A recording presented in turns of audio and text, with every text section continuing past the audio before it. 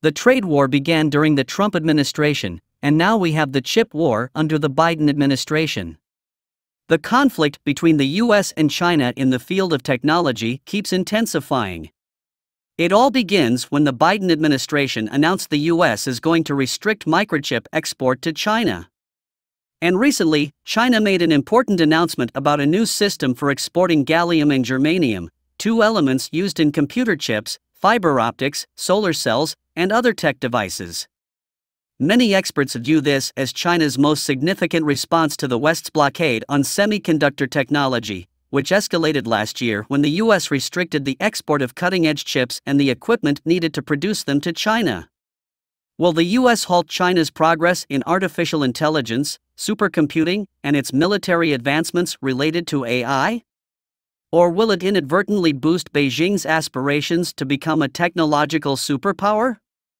In this video, let's delve into the chip war, exploring why the US restricted chip exports to China and how China is retaliating. Let's get started. How the US started the chip war and restricted semiconductor export to China. Chips, those tiny electronic circuits found in devices like smartphones and computers, play a vital role in our daily lives. In 2022, the Biden administration implemented significant restrictions on China's chip manufacturing industry.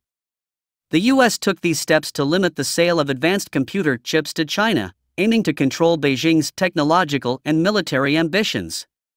The goal was to prevent China from accessing critical technology used in areas such as advanced computing and weapons development. This move intensified the trade battle between the world's two most powerful economies. The U.S. is primarily concerned with cutting edge technology that supports military equipment, radar systems, artificial intelligence, quantum computing, and the infrastructure for an advanced digital economy. The U.S. wants to hinder China's progress in these areas for national security reasons. China's ambitious Made in China 2025 plan, announced in 2015, aimed to achieve 70% self sufficiency in semiconductor production by 2025. This plan raised alarm within the US government, not just because of China's technological advancements, but also because of the speed at which these advancements were occurring. The strategic rivalry between the US and China was also escalating during this time. Under the new rules, U.S. companies are prohibited from supplying advanced chips and chip-making equipment to China unless they obtain a special license, which is expected to be rarely granted. Additionally, companies worldwide will be forbidden from selling chips used in AI and supercomputing to China if they are made using U.S. technology and software. Even U.S. citizens, including green card holders, are restricted from working on or supporting the production of advanced semiconductors for China the aftermath of U.S. banning microchip imports to China. In May 2023, Japan responded to the U.S.'s request and joined them in restricting the export of microchips to China. Japan announced limitations on the export of 23 types of equipment used in various chip-making processes. Interestingly, Japan went beyond the original U.S. rules. While the US limited the export of tools for making the most cutting edge chips, those of the 14 nanometer generation and below, Japan's restrictions extended to older, less advanced chip generations, even down to the 45 nanometer level. This raised concerns in the Chinese semiconductor industry that the production of basic chips used in everyday products, like cars, might also be affected. In June, the Netherlands followed suit and announced restrictions on exporting deep ultraviolet DUV lithography machines, which are used to create chip patterns. This escalation of rules expanded on previous limitations that had been in place since 2019, which only restricted the export of the most advanced extreme ultraviolet EUV lithography machines. The Netherlands is home to ASML, one of the world's leading manufacturers of semiconductor manufacturing machines. The US is concerned that if ASML were to ship its high tech machines to China, Chinese chipmakers could start producing the world's most advanced semiconductors, which have significant military and advanced artificial intelligence applications. Currently, China consumes over 75% of global chips as the world's manufacturing hub, yet it only manufactures around 15% of the global output. China lacks the capacity to produce advanced chips at the 7 nanometer level and below and heavily relies on imports from countries like Taiwan and South Korea. China strikes back in the chip war. On May 21, the Chinese government declared that Micron, a technology company, failed a security review and identified cybersecurity risks in their products sold in China. As a result, Micron expects its revenue from Chinese companies to be affected, accounting for a low double digit percentage of its total revenue. Approximately a quarter of Micron's total revenue comes from mainland China and Hong Kong based firms, including direct and indirect sales through distributors. China's restriction on Chinese companies buying chips from Micron may not have a significant impact, and China is aware of that. In response, China announced in July that it would limit exports of rare metals used in semiconductor manufacturing due to national security concerns. Starting from August 1, Chinese exporters will require government approval to send certain gallium and germanium products overseas to safeguard security and national interests. Gallium, essential for integrated circuits, LEDs, and solar panels, is considered a critical raw material by the European Union. Germanium is used for optical fibers and infrared camera lenses.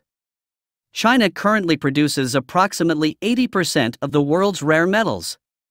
This means that exports of these materials will need government approval, potentially causing difficulties for Western companies reliant on them to secure a consistent supply from China. However, China's new restrictions are not expected to have as severe an impact on the US as American export controls have had on China. While China dominates gallium and germanium production, other countries have the potential to increase their own production and provide alternative supplies. Presently, around 60% of the world's germanium and 90% of the world's gallium is produced in China. Mining companies in Congo and Russia have already expressed plans to ramp up germanium production to meet demand.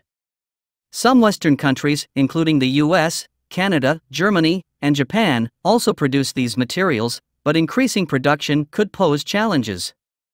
The mining process is associated with significant pollution, which was one of the reasons why production was outsourced to China initially. Could China's export controls be successful? Experts suggest that China's restriction on exporting rare earth materials may not be as effective as the US's ban on advanced technologies. While other countries can mine germanium and gallium, cutting edge technologies, such as EUV lithography machines, are often only produced by a single company. Export control becomes less effective if these technologies are available in other markets. Furthermore, the US has additional advantages that make export control more efficient, such as the ability to weaponize the dollar.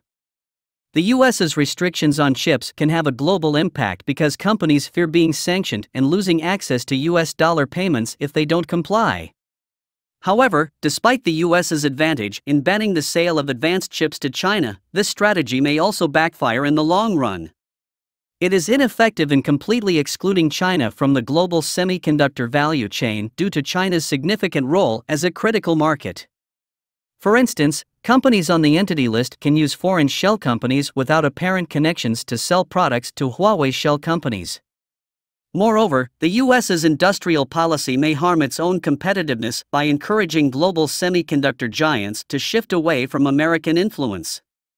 Many US chip manufacturers are considering building state of the art factories in Asia using equipment produced overseas and ASML's lithography technology. These factories can supply Chinese customers and bypass U.S. regulatory control.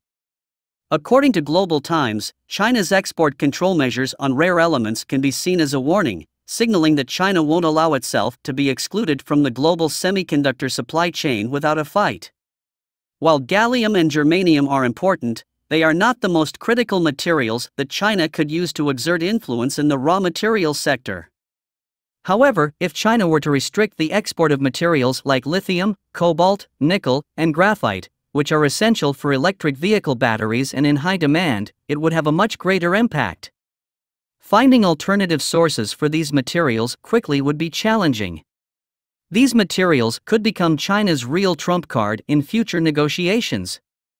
So, how do you think the chip war will play out?